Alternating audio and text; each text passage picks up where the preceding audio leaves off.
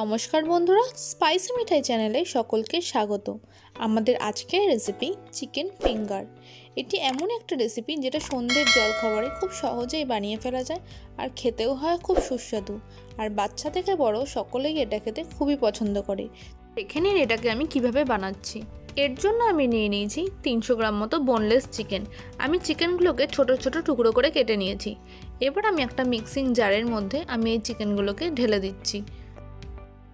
এর মধ্যে আমি দিয়ে দিচ্ছি ডুমো করে কাটা একটা মাঝারি সাইজের পেঁয়াজ,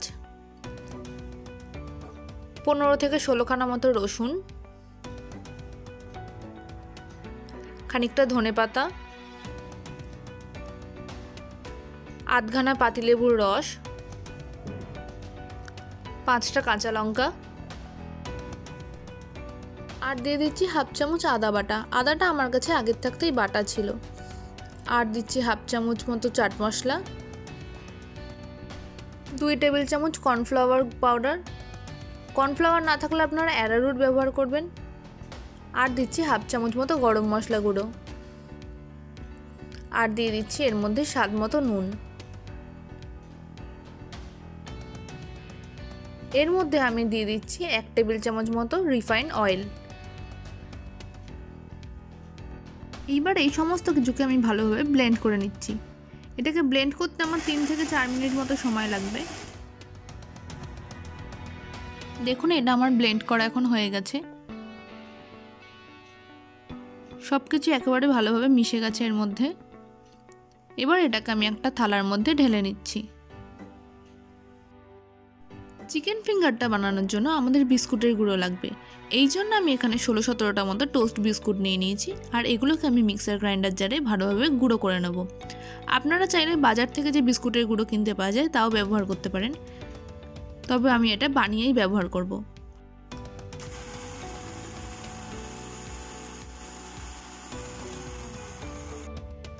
বিস্কুটের গুঁড়োটা এখন আমার বানানো হয়ে গেছে। এটা বানাতে কিন্তু খুবই কম সময় লাগে। আর বিস্কুটগুলো যদি আপনারা একটু ভেঙে দেন, তাহলে কিন্তু খুব তাড়াতাড়ি তৈরি হয়ে যায়। বিস্কুটের গুঁড়োটাকে আমি একটা থালার মধ্যে ঢেলে নিচ্ছি। এর মধ্যে আমি দিয়ে দিচ্ছি সামান্য নুন আর সেটাকে আমি মিশিয়ে নেব। এবার আমি আর একটা পাত্রে নিয়ে নিচ্ছি দুখানা মতো ডিম।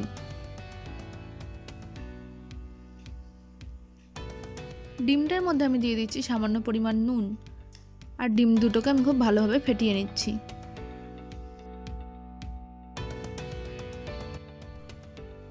এরপর আমি চিকেনের মিক্সিংটা থেকে চিকেনের ফিঙ্গারগুলোকে তৈরি করে নেব। এর জন্য আমি খানিকটা পরিমাণ চিকেন নিয়ে সেগুলোকে হাতের মধ্যে বল পাকিয়ে তারপর সেগুলোকে ফিঙ্গারের মতো শেপ দিয়ে দিচ্ছি। ফিঙ্গারের শেপ দেওয়া কিন্তু খুবই সহজ আর এটা করতেও খুব কম সময় লাগে। এই সময় আপনারা একটু হাতে তেল লাগিয়ে নেবেন তাহলে আপনাদের তাড়াতাড়ি তৈরি করতে পারবেন। আর আপনাদের যদি মনে হয় যে ফিঙ্গারটা একটু বেশি নরম আছে তাহলে আপনারা এর মধ্যে আরেকটু অ্যারারুট বা কর্নফ্লাওয়ার দিতে পারবেন। তবে এর মধ্যে বেশি পরিমাণে অ্যারারুট বা কর্নফ্লাওয়ার দিলে এটা খেতে কিন্তু খুব একটা ভালো লাগবে না আর এটা একটু শক্ত হয়ে যাবে। তাই জন্য যে পরিমাণ আমি অ্যারারুট বা কর্নফ্লাওয়ার দিয়েছি সেটা কিন্তু একদম ঠিকঠাক। এইভাবে আমি বাকি চিকেনগুলোর থেকেও চিকেন ফিঙ্গার তৈরি করে নেব।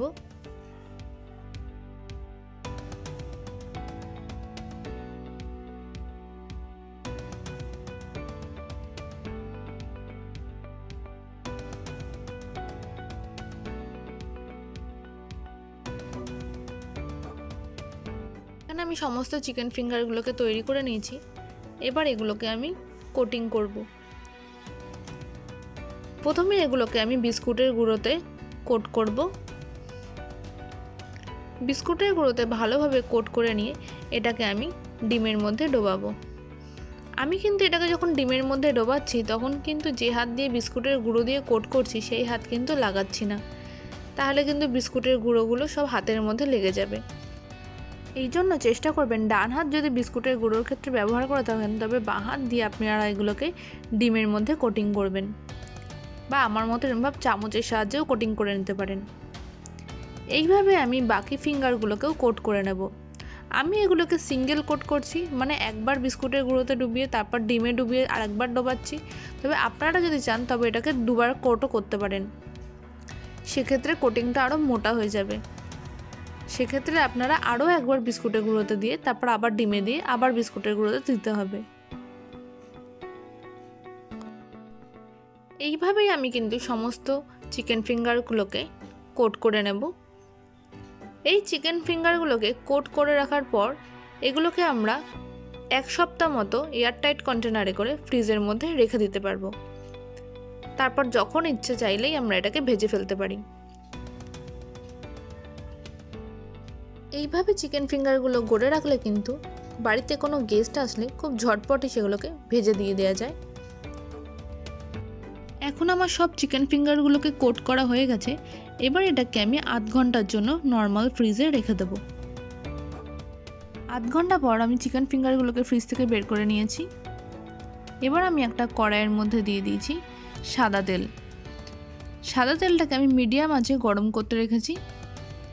সাদা তেলটা এখন গরম হয়েই গেছে। এর মধ্যে আমি দিয়ে দিচ্ছি চিকেন ফিঙ্গারগুলোকে চিকেন ফিঙ্গারটাকে কিন্তু অবশ্যই মিডিয়াম ফ্লেমে ভাজবেন।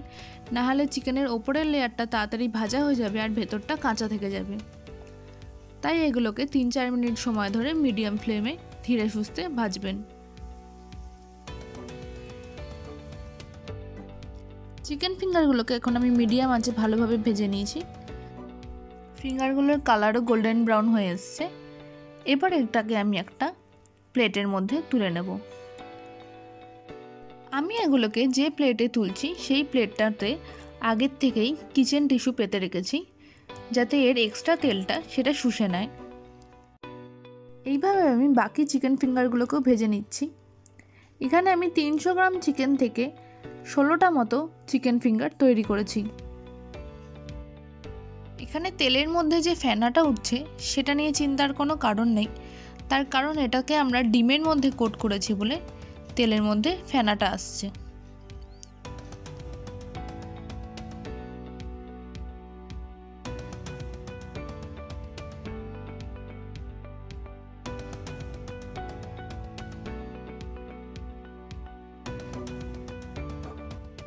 এইভাবে আমি সমস্ত চিকেন ফিঙ্গারগুলোকে তুলে রাখছি। চিকেন ফিঙ্গারটা এখন রেডি হয়ে গেছে। আমার আজকের রেসিপি কেমন লাগল তা কিন্তু আমাকে কমেন্ট বক্সে কমেন্ট করে জানাতে ভুলবেন না। আমার রেসিপি যদি আপনাদের ভালো লেগে থাকে, তবে রেসিপিটি অবশ্যই বাড়িতে একবার ট্রাই করবেন। আর কেমন হলো তা আমাকে লিখে পাঠাবেন। আর আমার ভিডিও যদি ভালো লেগে থাকে, তাহলে ভিডিওটিতে একটা লাইক করবেন আর বন্ধুদের সঙ্গে শেয়ার করবেন। আর চ্যানেলটিকে সাবস্ক্রাইব করবেন। ধন্যবাদ।